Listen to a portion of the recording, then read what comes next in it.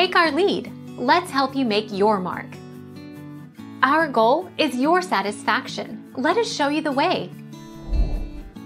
What if someone's picture disappears on WhatsApp? If a contact's profile photo isn't showing this is probably because they have either changed their privacy settings to Nobody or My Contacts, and you are not saved as a contact in their phone.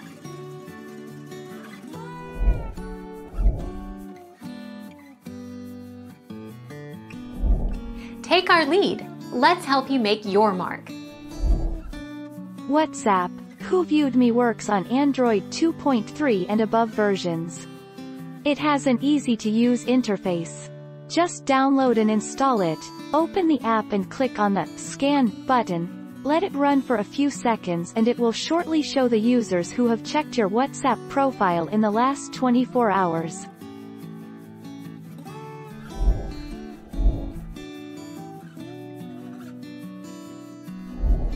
Make your mark Take our lead. Look for the profile photo of the person who may have deleted you. If you've been blocked, the profile picture will only be a silhouette. It is possible, however, that the person just removed their profile photo. Tap the person's name in the chats list.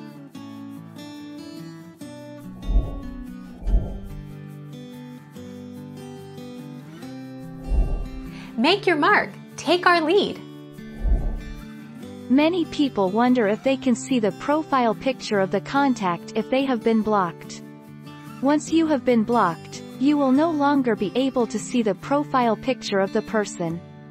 Thus, if you have been blocked, you will no longer send texts, nor can you view their profile picture.